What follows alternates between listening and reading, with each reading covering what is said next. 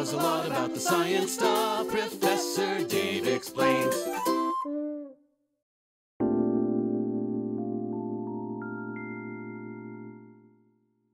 As we have come to understand in this series, the most devastating diseases plaguing mankind throughout all of history were caused by microorganisms. And yet, humans remain clueless as to their existence for more than 99% of that history. Even when solutions were eventually found, like Jenner's immunization technique, these were reached only through trial and error, without any understanding of the etiology of the disease, meaning that we didn't actually know what was causing the disease, or precisely why these techniques worked against them. There had been speculation for centuries about the possible existence of living beings too small to be seen by the naked eye. After all, humans had noticed exceptionally small insects, which are barely visible to the naked eye, and it does not require a lot of imagination to conceive of the possibility that even smaller organisms might exist. However, the definitive proof that these invisible beings existed could only be reached upon the invention of the microscope. And in fact, bacteria were first described by an amateur scientist. In 1674, a Dutch draper, Antony van Leeuwenhoek, whose hobby was to grind powerful single lenses, built a rather simple microscope, and using it himself, he described what he referred to as animalcules moving under the lens. Over the years, he documented in some detail many examples of what we now understand to be bacteria, protozoa, and fungi. Surprisingly, this discovery, now hailed as the birth of microbiology, did not make much of an impact, and the decisive steps toward establishing this new discipline had to wait for almost two centuries. As it came to pass, the field of microbiology truly arose not in the context of therapeutic needs, but rather in response to intense debates focused on the phenomena of fermentation and spoilage.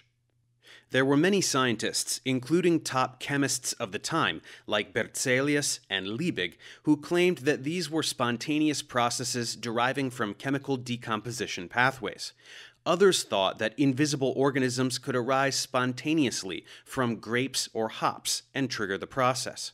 Still others proposed, and correctly as it turns out, that fermentation arose because microorganisms carried through the air settled down onto nutrients such as the sugar in grape juice and multiplied. Their metabolic activity was the cause of the fermentation that we observed, for example in beer or wine production. One of the greatest scientists of all time, French chemist Louis Pasteur, is widely acknowledged as the father of microbiology. Pasteur had a doctorate in both physics and chemistry, and his contributions to chemistry and crystallography were unparalleled. He turned to microbiology to address the wine fermentation problem because the father of one of his students, a wine producer, sought his help.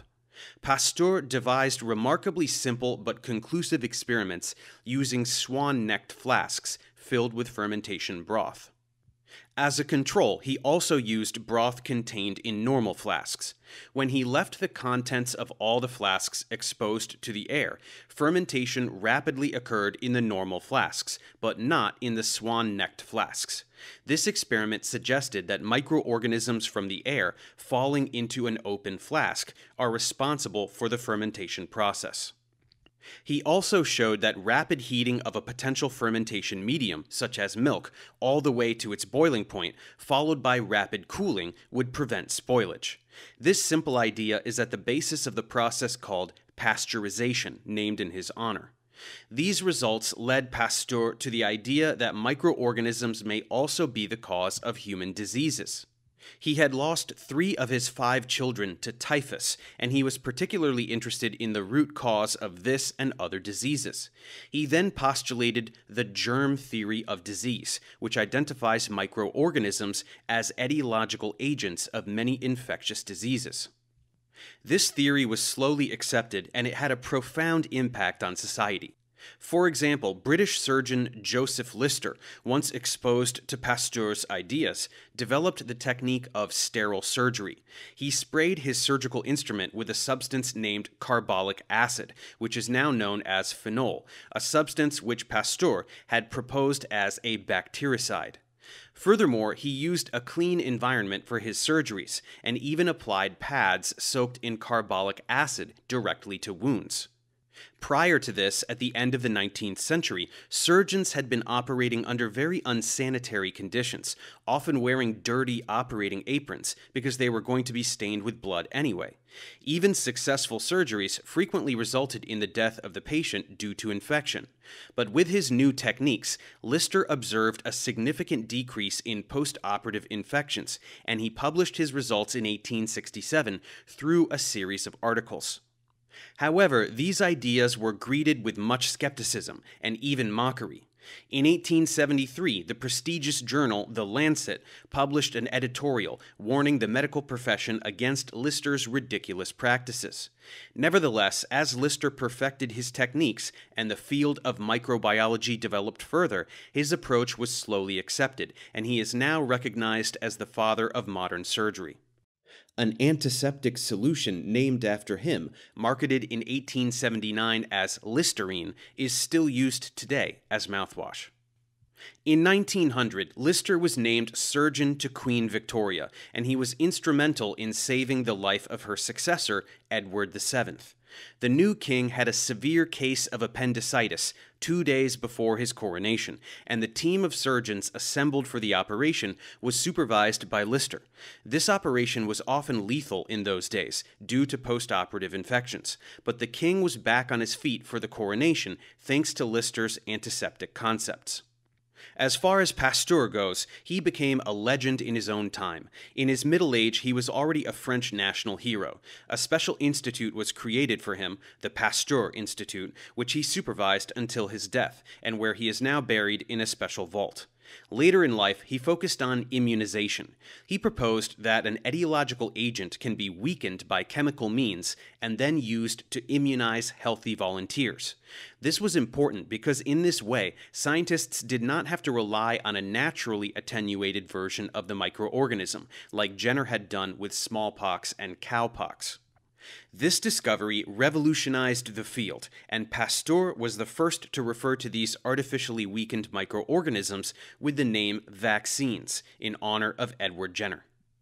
In his old age and after his death, Pasteur was widely criticized for being extremely secretive, presumably for financial reasons. Indeed, he instructed his family to keep his legendary lab notebooks secret and never to reveal them to anyone. They finally became publicly available in 1971 and are now displayed in the French National Library.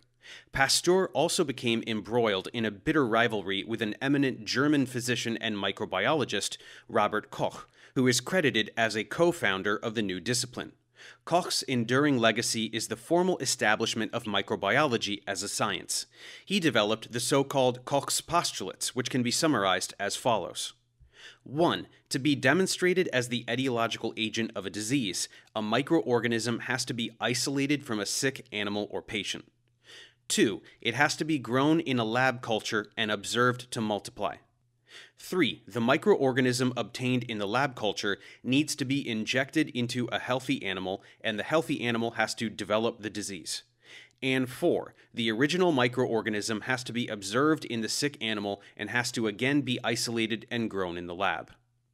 These criteria are still generally applied in microbiology, although with some modifications given our modern understanding of pathogens and their behavior.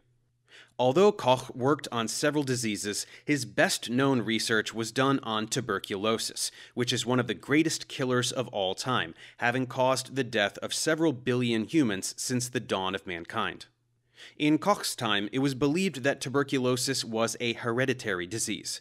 Koch proposed instead that the disease was caused by a bacterium, and he was able to isolate it. He called it Mycobacterium tuberculosis, and found that this microorganism satisfied all four of his postulates. In collaboration with his colleague and friend, Paul Ehrlich, he developed a diagnostic test for the disease called tuberculin, which is still used to this day. Initially, this was meant to be a therapy against the bacterium, but it failed to cure the disease. For his work, Koch received the Nobel Prize in 1905, and today the Robert Koch Institute in Berlin is the primary German center for microbiology.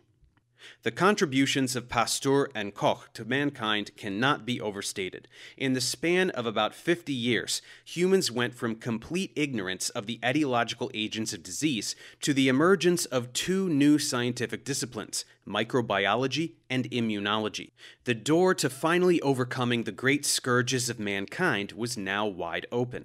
The next step, which was quite obvious but difficult to achieve in practice, was to find a treatment for these diseases. We saw in the previous tutorial how quinine was isolated from the bark of a tree and had become a major strategy to combat malaria, even without any knowledge of microbiology. However, this time scientists took another approach. Instead of relying on nature, chemists would make the medicine in the lab themselves, via chemical synthesis. Now bacteria could be grown in vitro, and therefore chemicals could be tested directly on the bacteria, and scientists could then determine how effective any chemical might be in killing these bacteria. The most promising agents could then be tested in infected animals and finally in human patients to see whether they could cure the disease. Though with far greater sophistication, this is essentially how the pharmaceutical industry still operates. The father of chemotherapy is the German physician we mentioned a moment ago, Paul Ehrlich, who worked in Berlin and Frankfurt at the institute which now bears his name. As a first disease target, he chose syphilis, a bacterial infection caused by Treponema pallidum and transmitted sexually. There is still no vaccine against it, and mortality is around 58%, although the progression can last over 30 years, and the symptoms are devastating.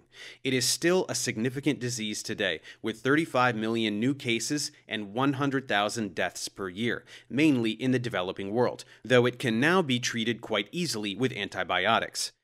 At the beginning of the 20th century, however, it was still treated with mercury salts, which were ineffective and toxic.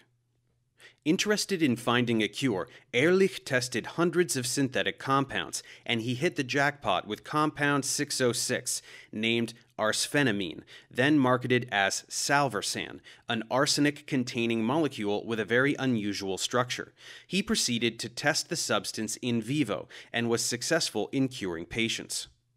In spite of his stunning success, and in spite of having received the Nobel Prize for Medicine in 1909, Ehrlich suddenly became a controversial scientist. He was Jewish, and much of the animosity displayed against him may have been motivated by the anti Semitism of the times. He was accused of fueling the moral destruction of the German people by encouraging the sexually promiscuous behavior which had been kept in check by the fear of the disease. At the same time, he was accused of unethical behavior, as some of his initial patients had died from the side effects of the drug, which was indeed quite toxic. In his famous Frankfurt lecture of 1910, Paul stated what is still one of the basic concepts of chemotherapy. In effect, the hope of finding the ideal of modern therapy, i.e., entirely safe substances for curing bodily ills, seems to me virtually incapable of being realized. We shall always have to reckon with some degree of toxicity, but the negative aspects must not constitute a risk that is excessive in relation to the danger from the disease itself. Paul was deeply affected by the many personal attacks and eventually slipped into a depression, leading to his premature death. In his later years, to address the problems of drug side effects, he proposed the idea that we could develop a vehicle which would hit only the desired target, and we could use this vehicle to deliver very toxic drugs quite selectively, therefore avoiding damage to the host. He called this approach Zauberkugel, German for magic bullet. Ehrlich failed to develop this magic bullet. His ideas were a hundred years too early, and only now are we beginning to put this concept successfully into practice. In any case, the doors to chemotherapy and the treatment of all bacterial diseases were opened by Paul Ehrlich's approach. We will see moving forward how this initial success led to more exciting results against a number of other diseases.